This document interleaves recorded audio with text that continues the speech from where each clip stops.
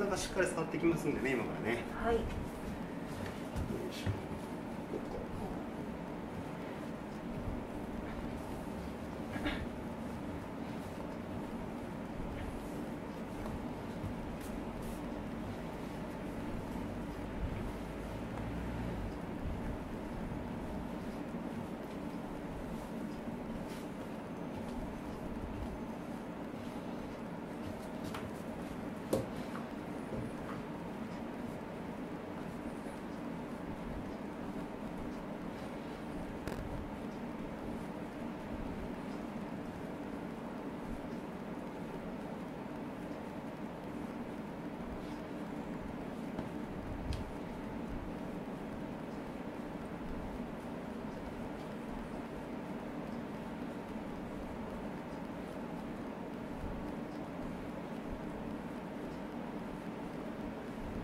背中もガチガチですね。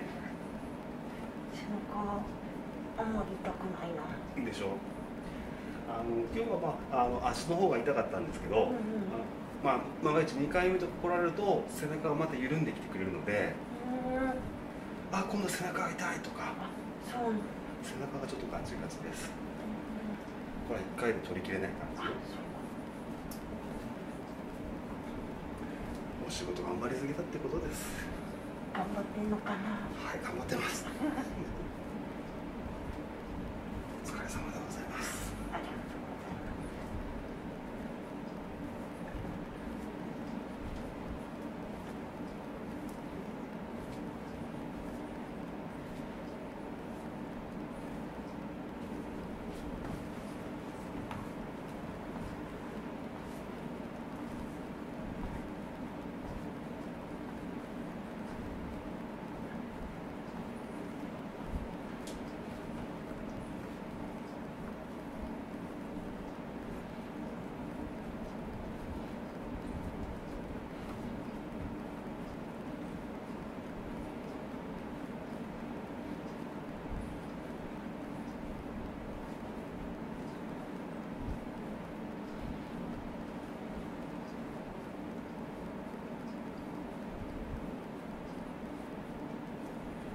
ここガ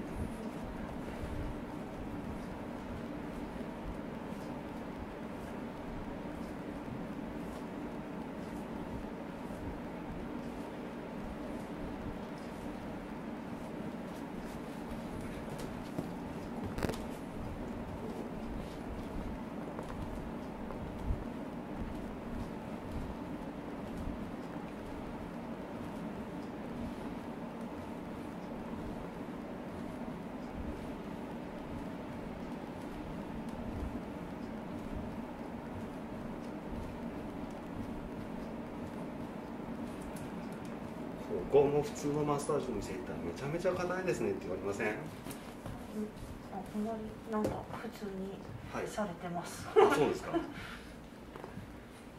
結構硬い方だと思いますよ、うんここ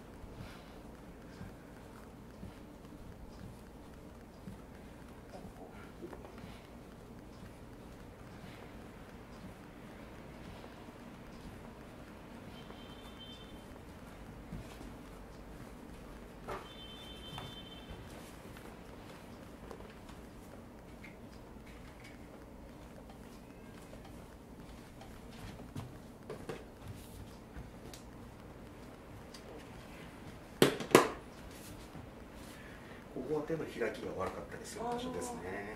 でも痛いな。ここはねよく効きますね。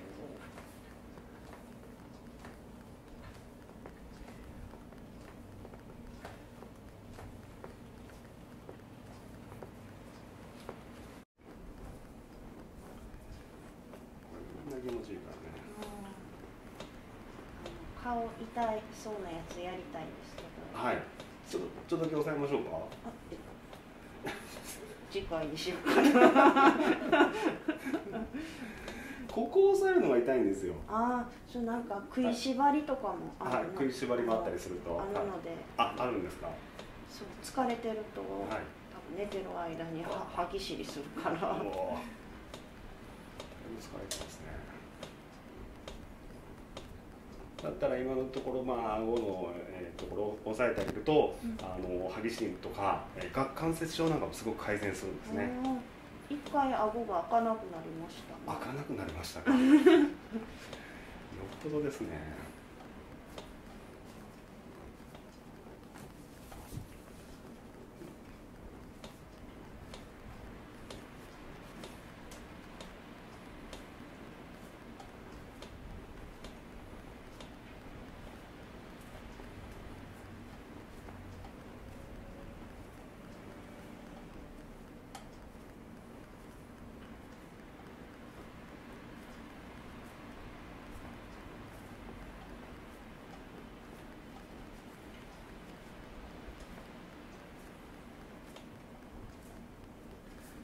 はいちょっと頭をお借りしますね。よいしょどんどんって。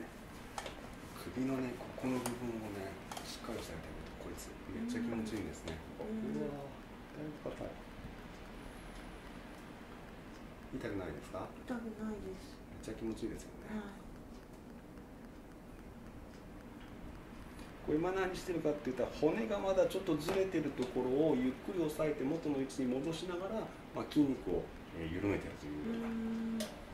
皆さんこれでねもう結構こうって眠ったりとかしますので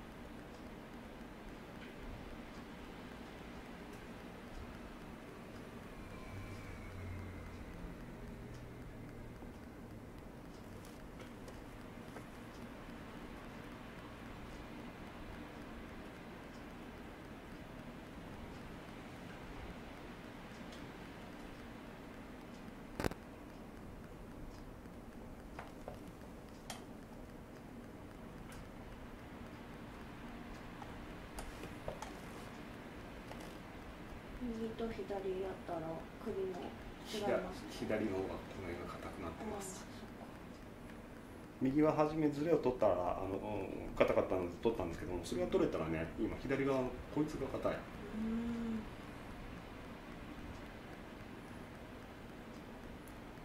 対人関係のストレスがいっぱい溜まってたのかもしれません。